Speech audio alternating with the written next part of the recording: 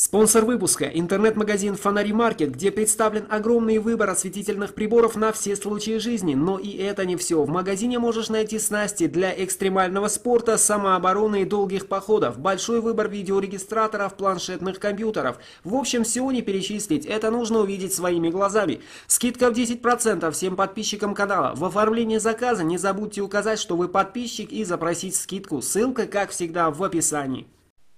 Всем привет! Большая часть моих проектов редко используется в быту, и, как правило, почти все, что я собираю, либо дарю близким, либо пылится на полке. Но проект, который реализуем в ходе этого ролика, потребовался мне лично. Около недели назад возникла нужда в портативной стереоколонке небольших размеров, притом колонка должна была работать в жестких погодных условиях, поэтому было решено на скорую руку собрать портативную колонку из подручного хлама.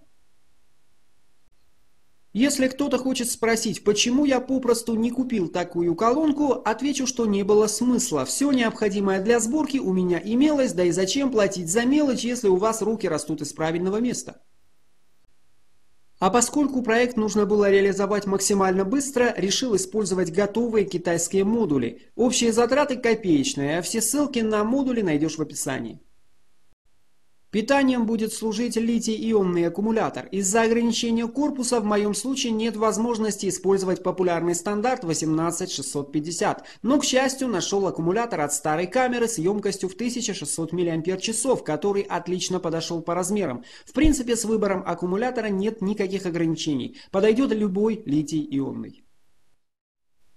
Потом нам понадобится плата зарядки литиевых аккумуляторов от USB с защитой на базе микросхемы TP4056 с током заряда в 1 А.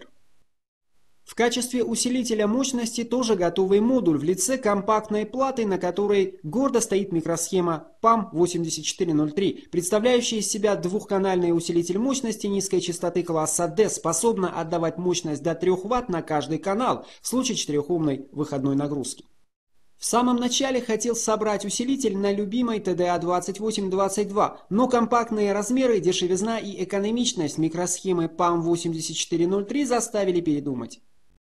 Корпусом послужит большой контейнер от Kinder Surprise. К сожалению, пока не удается выпросить у китайцев 3D принтер, поэтому когда речь идет о корпусе, приходится импровизировать. В качестве громкоговорителей динамики отбитых компьютерных колонок, но используя вот такие бумажные динамики, колонка будет орать значительно громче. Помимо всего указанного, нам нужен выключатель, обязательно с фиксацией, стереоразъем 3,5 мм и кабель к нему. Как вы поняли, передача сигнала у нас будет осуществляться проводным путем. Теперь собираем начинку и тестируем. Ошибиться нереально, если все делать по картинке. И в конце устанавливаем весь этот колхоз в корпус.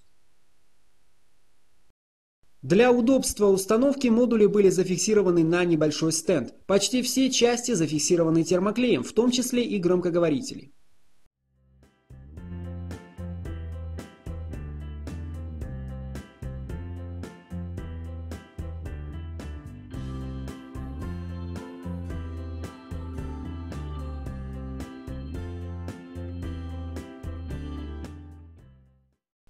Итак, колонка на скорую руку готова. Может и не поверите, но вся работа была выполнена буквально за полчаса. Рекордно быстрый проект. Зато на создание ролика было потрачено трое суток.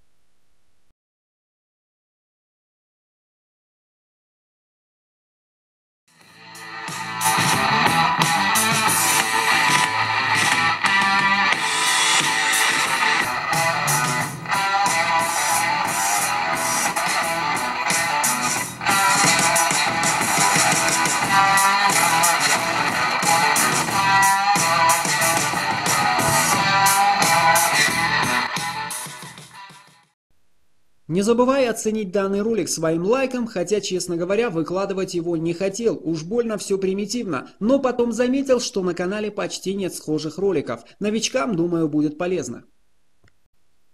Перед тем, как прощаться, хочу напомнить, что на пороге лета и начинается дачный сезон, каникулы, походы и все такое. Поэтому я намерен создать несколько проектов на тему автономных штуковин для долгих походов.